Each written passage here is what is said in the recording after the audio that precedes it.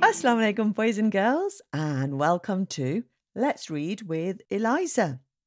Hope you're doing well and enjoying the books on the channel, and I'd be really grateful if you can like and subscribe to the channel and share it with your friends and family.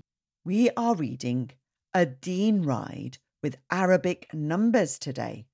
Now, this book has been written by Dr. Neha Qazi and it has been illustrated by Isa Mutiara. Shall we learn some Arabic numbers, guys? Come on then. Bismillahir Rahmanir Rahim. A Deen ride with Arabic numbers. Ayesha, what makes you sad? I have an Arabic numbers test tomorrow, but I don't know my numbers yet. Adie sits beside his friend, thinking of how to help her. After a minute, he jumps up. I've got an idea, he says. Come with me. What are we doing at an amusement park? asks Ayesha. Look there. Hop on, Ayesha. It's going to be fun. Clickety clackety, the roller coaster car climbs a steep track, and with a whoosh, it dives down. When the car halts at the first station, both Ayesha and Adie climb out and read the information given on the screen. 1. Station Wahid. 1. Kaaba. It is the Qibla, the direction in which Muslims all over the world turn to pray. It was built by Prophet Ibrahim and Ismail and is also called the House of Allah. Maqam Ibrahim is the stepstone on which Ibrahim stood while building the Kaaba. Can you spot the Maqam Ibrahim in the picture? 2. Station Ithnain. Two hills of Safa and Marwa.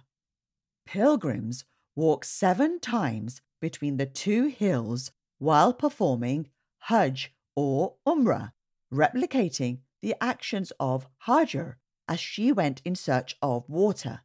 Allah answered her dua by erupting the well of Zamzam water in between the hills. Can you spot the well of Zamzam in the picture? 3. Station Thalatha. Three springs of Jannah.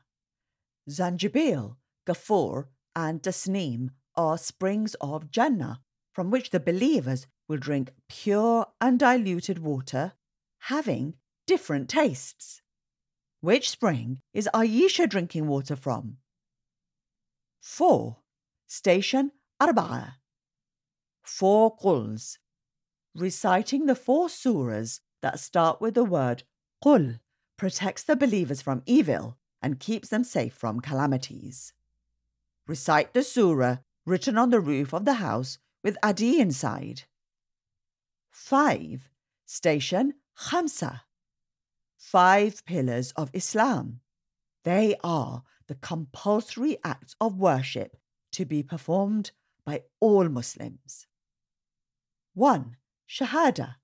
The belief that there is no God but Allah and Muhammad, peace be upon him, is his messenger. 2. Salah.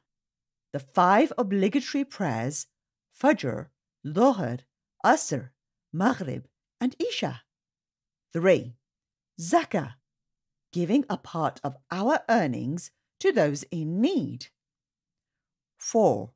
Som, fasting for the sake of Allah. 5. Hajj, the blessed pilgrimage. Read the name of the pillar behind which Ayesha is hiding. 6. Station Sita. Six surahs named after the prophets. There are six surahs in the Holy Quran named after the prophets, each describing their journey of prophethood. They are Surah Yunus, Surah Hud, Surah Yusuf, Surah Ibrahim, Surah Muhammad, Surah Nuh. Which prophet was swallowed by a big fish? 7. Station Sab'ah. seven heavens. Miraj is the second part of the miraculous journey of Prophet Muhammad, peace be upon him, when he ascended through the seven heavens. It was during this journey that the Prophet, peace be upon him, received the precious gift of the five obligatory prayers from Allah. Which prophet did Prophet Muhammad, peace be upon him, see in the first heaven? 8. Station Thamania. Eight doors of hmm. Jannah. Every believer will enter Jannah from one of the eight doors. The name of the doors signify who will enter through them and stay there forever. Read the name of the door that Ayesha is standing in front of. 9. Station Tisa. Nine angels. Angels are pure and noble beings created by Allah. They are made from light and have specific duties to perform. Which angel will blow the trumpet on the last day? 10.